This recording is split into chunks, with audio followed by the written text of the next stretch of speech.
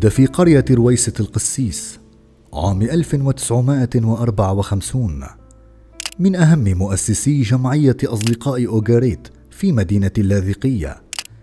له العديد من المؤلفات في المجال الفكري والأدبي وأشهرها رواية قمح بالإضافة إلى العديد من النصوص المنوعة بين مسرح وشعر وقصة تناول فيها الأدب الأوغاريتي برؤية نقدية جديدة وكان أهمها الوطن الأم أوغاريت. ضيف رحى اليوم الأستاذ سجيع قرقماز. اختصاصك أدب إنجليزي لكن عندك باع طويل بالآثار وبالتراث. شو هو سر هذا الاهتمام؟ بداية حياتي العملية أنا فيني أقول بلشت معي مع بداية الثمانينات بالدلالة الأثرية والاهتمام التاريخي الأثري وخصوصي اللاذقية وبالأخص الحضارة الأوغريتية اللي هي آه، صارت بالنسبة لي عشق ليست فقط دراسة ليست فقط اهتمام ليست مادة للحفظ والعمل والشغل لا لا صفت عشق صفت حالة طبيعية وصفيت دائما موجود في المواقع الأوغريتية الموجودة من ضمن هذا الموقع. كل ما اطلعت أكثر على ثقافة أوغريت، كل ما اطلعت أكثر على ميثولوجيا أوغريت، كل ما اطلعت أكثر على حياة الأوغريتيين، على فنهم، على مسرحهم، على آه، آه، حياتهم العامة الشعبية في أي منطقة في العالم، كل ما حسيت حالي أنا أزداد ارتباط بهم وأعود شوي شوي لأصلي الأوغريتي فانا اوغريتي وبالمناسبة أنا اسمي الحقيقي ابن السما الاوغريتي وهذا المتعارف عليه لأني بحس حالي أنا ماني من هالعصر ماني من هالواقع المعاش اليوم لا أنا عايش عصر آخر مختلف وسعيد إني أعيش هذا العصر المختلف لأنه أهم شيء في هذا العصر أو ذاك العصر الاوغريتي المختلف أنه أن الإنسان هو غايته والإنسان هو مبتغاه وهدفه والإنسان هو اللي عايش بأجمل ما يكون فيه من كل شيء. كانت حتى حتى أغانيهم حتى موسيقاهم حتى الميثولوجيا تاعيتهم الأناشيد تاعيتهم دائما تهتم بهذا الشعب الجميل تهتم بهذا الشعب اللي بيحب الثقافة بيحب الفكر. ولذلك كانوا رواد بهذا المجال. كانوا رواد بالموسيقى. رواد بالميثولوجي بالأساطير والملاحم رواد باختراع الأبجدية رواد ببناء السفن رواد بالملاحة البحرية. يعني أنت ما بتتخيلي إنه مكتبة اوغاريت اللي موجودة اليوم في في في في في في متاحف العالم مكتبة اوغاريت كان فيها أرشيف هائل جدا. من ضمن هذا الأرشيف كان عندك شيء اسمه لغات مقارنة. تعرف شو لغات مقارنة؟ يعني هذا من الأداب المحدثة هالأيام يعني. كان في آداب مقارنة. إذا أنا في عندي ثقافة هائلة لهذا الشعب الأوغريتي تخليك تحبيه جدا وتعيشي معه جدا. من هون إجت الريادة الأوغريتية لأنه فترة أوغريت ما كان في شيء إسا. إيه سبقها سبق أوغريت شيء أهم. هو آه، ريادة بابل ثقافة بابل اللي عملت جلجامش اللي عملت حمورابي. اللي عملت كثير من القوانين الحضارية للعالم العالم الحر العالم, العالم الإنساني في ذلك الوقت واللي استمرت حتى اليوم. يعني كان اللي سبق وقريت فقط هو جلجامش الملحمة الهائلة الإنسانية اللي عملت شيء كثير في العالم واللي كان ملاحم وأساطير أوغريت متابعة لها. لذلك شفنا هذه الملاحم والأساطير غايتها شو هي؟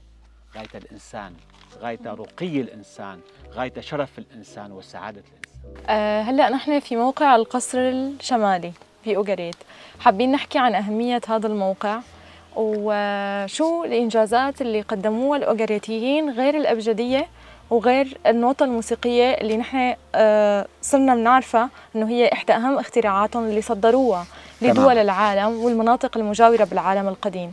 حابين نعرف أهمية القيمة المضافة اللي قدموها الأوغريتيين في مجال الصناعة والتجارة. هلا نحن هون في موقع اسمه رأس بن هاني رأس بن هاني أو بسموه بريت الأوغريتية.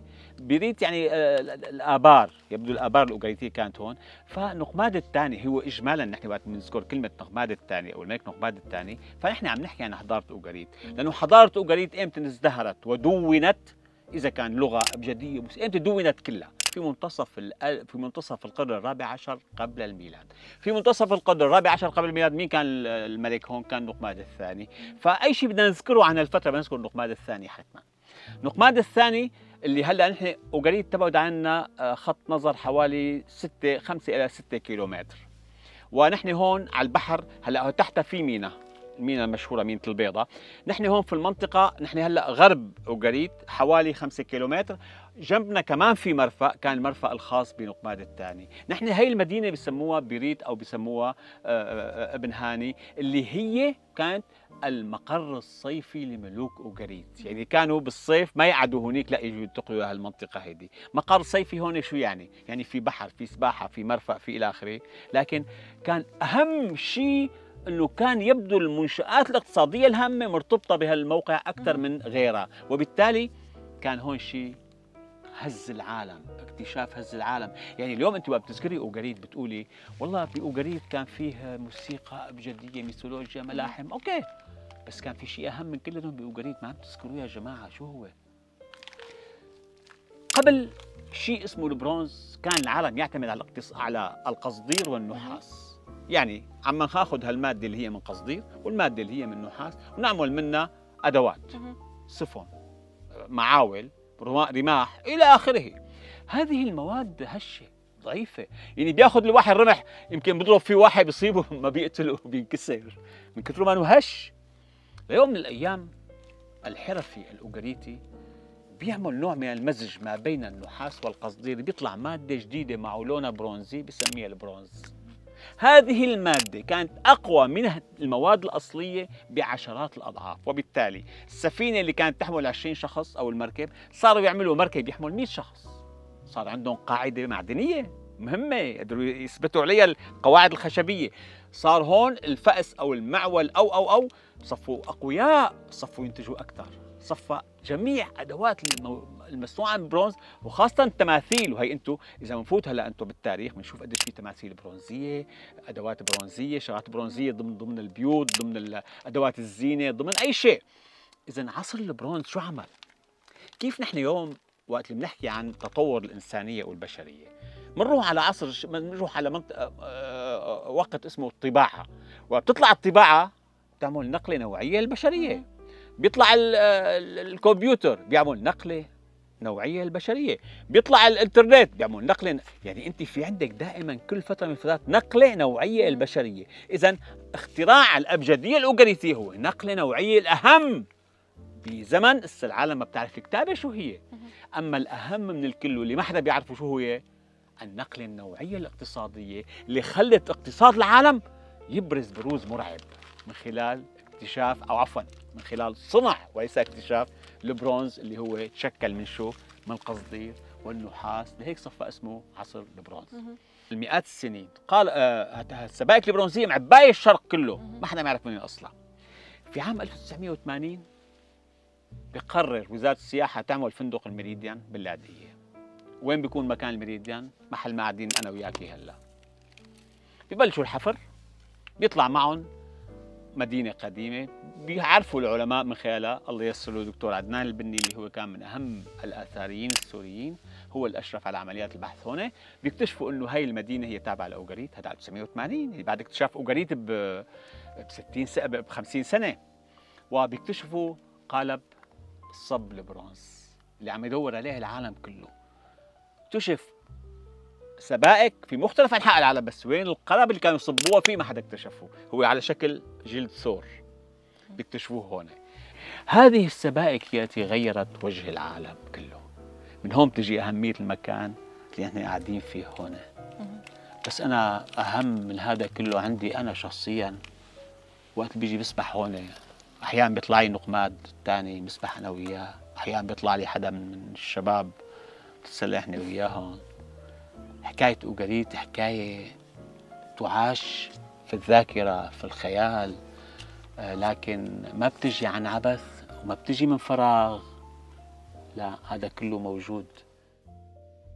شو رأيك بوجود شركة وطنية كشركة رحى عم تهتم بهذا الجانب بجانب التوثيق التراث المادي واللامادي؟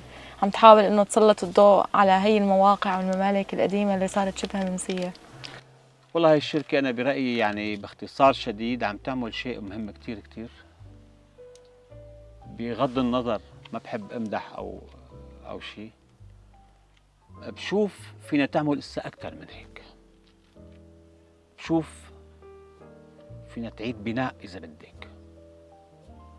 وهيدي فكرة خليني آه، آه، أهمسها بمسامع القائمين على هالعمل المهم كتير كتير. فيهم يساعدوا أكثر في المستقبل في هذا المجال. آه، شرط شرط. اللي بيعملوا فيها دائما يكونوا محبين لهالأرض بكفي.